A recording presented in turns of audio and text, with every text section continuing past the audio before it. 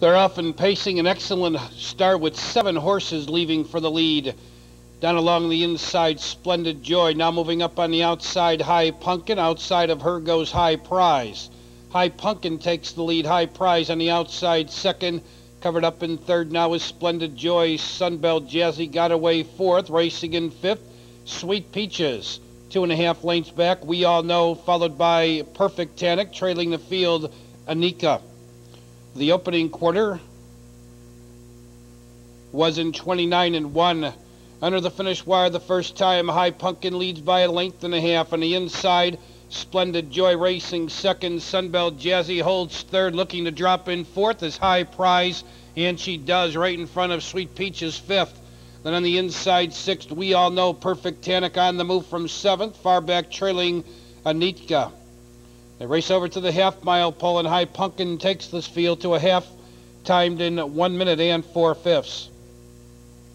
Onto the backstretch, Hy Pumpkin leads. There goes Perfect Tannic up on the outside to be second. Splendid Joy covered up in third. Sunbelt Jazzy racing fourth and fifth position on the rails. Sweet Peaches. High prizes fading. Then on the inside, we all know trailing the field, Anitka. And around the far turn, uh, Hy Pumpkin holds firm a length.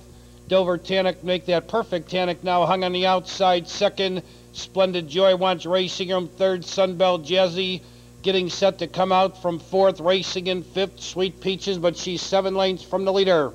Heads are turned for home in Balmoral's eighth race, and Hy Pumpkin cuts the corner. Two on top. On the outside, Perfect Tannic trying to come on second. Splendid Joy now has a clear lane to the wire, but she has no pace. Your leader is Hy Pumpkin. She's just drawing away. A late move by Sunbelt Jazzy. Your leader is Hy Pumpkin. She'll win by three. Splendid Joy will hold second. Sunbelt Jazzy third.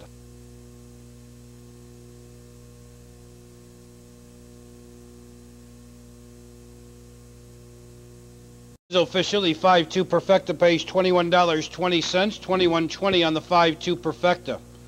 Going into the winner's circle will be five Hy Pumpkin. Hy Pumpkin is owned by David Lee Snyder, trained by Larry Finn, driven to victory by Fred Finn Jr.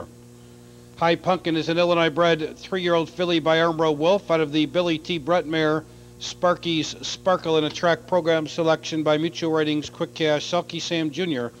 and Kelly's Corner. Eighth race, rundown, top down, 5 2 3 6 1 7 8 4. Time for the mile, 201 and 4. Ninth race, no changes. Post time in 17 minutes at 1042. Now it's back to Maywood.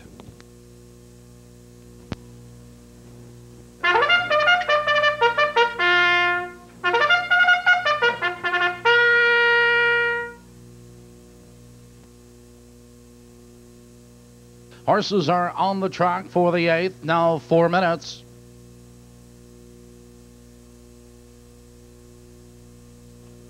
Perfecta wagering just four minutes to post.